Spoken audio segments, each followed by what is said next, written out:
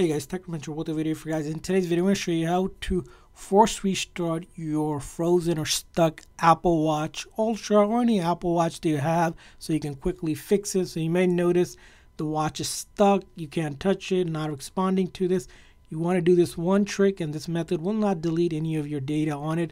So how do you do that? Well, first thing is you locate the crown and the side button. We need to press and hold both of the buttons at the same time until the screen goes completely black and you see the Apple logo appear. At that time, you'll let go. So I'm going to go ahead and press it at the same time, just like this, right? And you want to keep on pressing and holding. Now, if anything pops on the screen, just ignore it and just keep on holding it. And as you can see here, the screen went completely black, which is good. And I'm going to wait till I see the Apple logo before I let go of those two buttons. So as you can see here, and I see the Apple logo, I let go of those buttons just like that. And basically what we have done is shut down the software on the Apple Watch and then have it reload the code to fix any software related issue, which is probably the most the reason why it's probably frozen or stuck or unresponsive.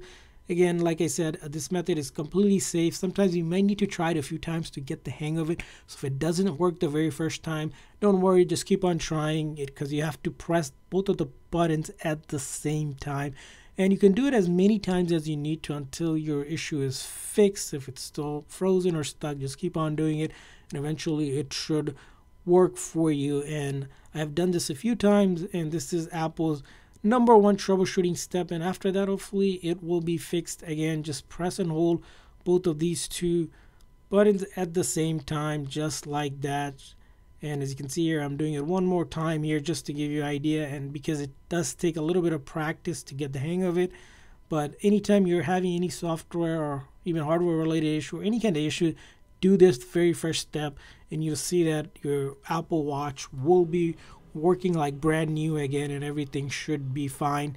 And I hope this video was helpful. If so please do consider hitting the like and subscribe button for more tips and tricks for your Apple Watch and other iOS devices See you guys next time.